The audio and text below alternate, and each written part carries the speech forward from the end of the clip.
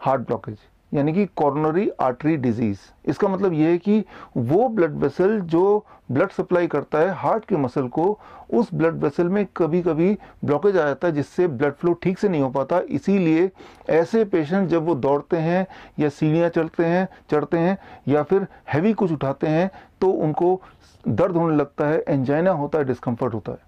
ऐसे में डॉक्टर बोलते हैं एंजियोप्लास्टी करा लो बाईपास सर्जरी करा लो।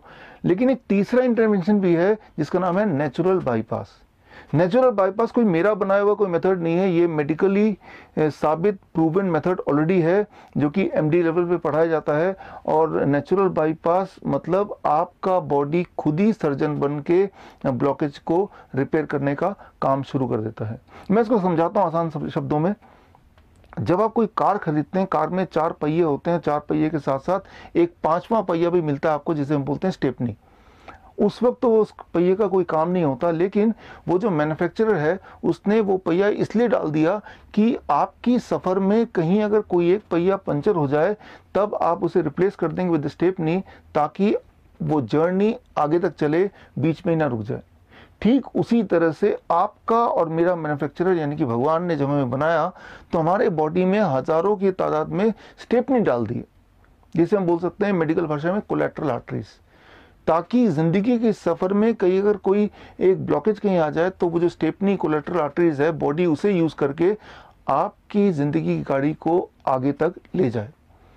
ये जो कोलेट्रल आर्टरीज होते हैं, वो बहुत ही छोटे होते हैं माइक्रोस्कोप से वो आप देख सकते हैं। वो नेटवर्क की तरह पूरे बॉडी में है अनयूज लाइक द स्टेपनी तो जब भी कभी ब्लॉकेज हो चाहे वो हार्ट में हो या कहीं और भी हो तो बॉडी अक्सर उस स्टेपनी को यूज़ कर लेता है।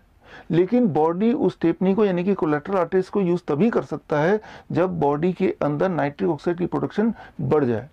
नाइट्रिक ऑक्साइड की प्रोडक्शन को बढ़ाने के लिए बॉडी को खास तरह की न्यूट्रिशन की आवश्यकता है। सो so, उस न्यूट्रिशन के मिलते ही बॉडी अपना नाइट्रोक्साइड प्रोडक्शन इनहेंस कर देता है, जिससे कोलेट्रल आर्टरीज के माध्यम से blood vessels which is a blood vessel blood supply होता है to the heart and heart starts functioning like before पहले की तरह जब वो बहुत स्ट्रांग था। तो आपको क्या करना है? इसके लिए सिर्फ़ आपको करना है you have to start with D I P diet phase two D I P diet phase two को अपना अपनाना है। अब D I P diet phase two क्या है? इसके लिए स्क्रीन पे दिए हुए लिंक में जाके आप वीडियो देख सकते हैं। तो इस वीडियो को देखने से डी आई पी डाइट क्या है और D I P diet phase two क्या है, वो आपको पता चल जाएगा। तो आपको सिर्फ़ इतना करना है कि D I P diet phase two पे रहना है और साथ में ग्रीन और रेड जूस ग्रीन मतलब स्पिनच यानी कि पालक और रेड मतलब टमाटर या चकुंदर इनमें से कोई भी एक वेजिटेबल लेंगे घूम, घुमा फिरा के और उसका करीब 200 से 250 सौ जूस निकालेंगे फ्रेश जूस और उसको पीने में लगने चाहिए 10 से 15 मिनट। जब पेट भरा हो तब नहीं, जब पेट खाली हो। जैसे लंच से पहले या डिनर से पहले, ऐसे टाइम पे। और ऐसा अगर आप एक महीने तक कर सकते हैं तो ऑन एवरेज मैंने देखा है कि it takes only one month और उसके अंदर ही ब्लॉकेज ऑलमोस्ट चला जाता है। अच्छा कैसे पता चलेगा? ब्लॉकेज चला गया, बड़ा ही सिंपल है।